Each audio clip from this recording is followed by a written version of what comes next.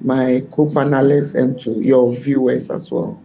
It is heartwarming to, for once, uh, know that uh, an institution is working and working expeditiously from the civil society and also anti-corruption perspective. We believe this is very, very timeless.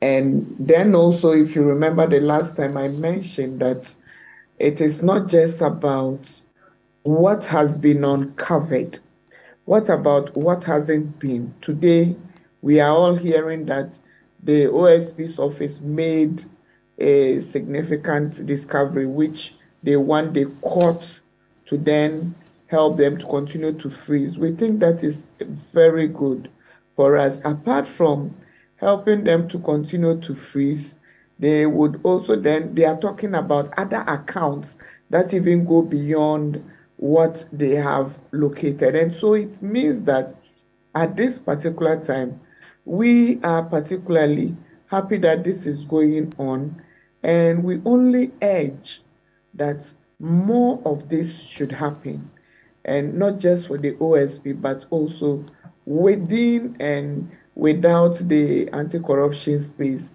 so that will make significant gains for this country. What we are all seeking is the truth, and if the truth is then found, uh, the OSP in going to court will then determine if the assets are also indeed frozen. Then it means it gives them more time to delve into other aspects of this case.